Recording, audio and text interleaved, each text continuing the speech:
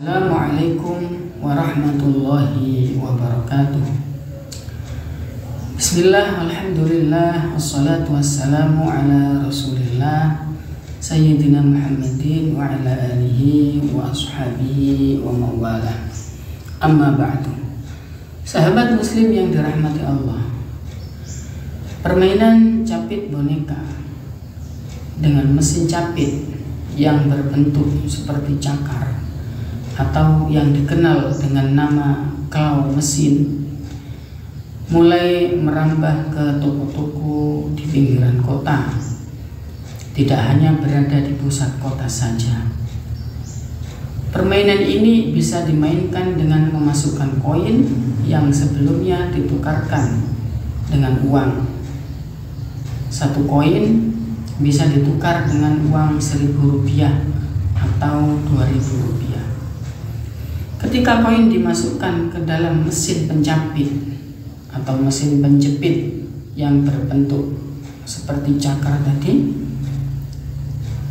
maka mesin capit tersebut bisa dimainkan untuk mengambil boneka yang ada di bawahnya dan diambil lalu digeser ke lubang tempat mengeluarkan boneka dari mesin dengan setik yang bisa digeser untuk mengarahkan cakar pencapit.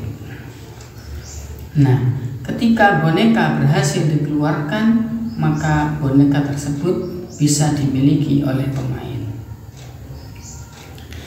Permainan ini sangat sulit karena boneka yang dijepit itu mudah lepas.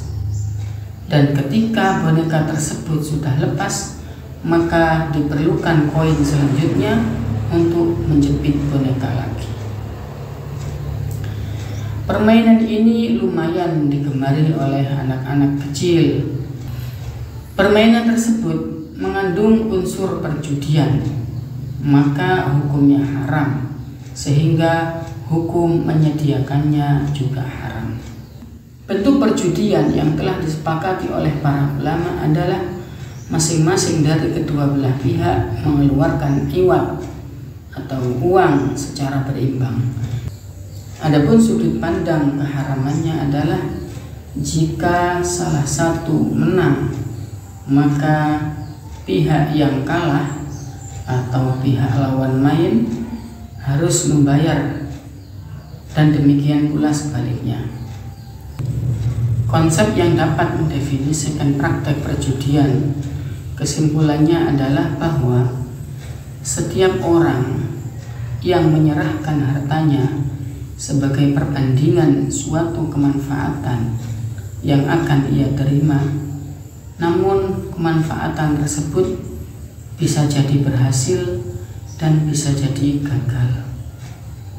Maka praktek yang seperti ini termasuk judi yang diharamkan.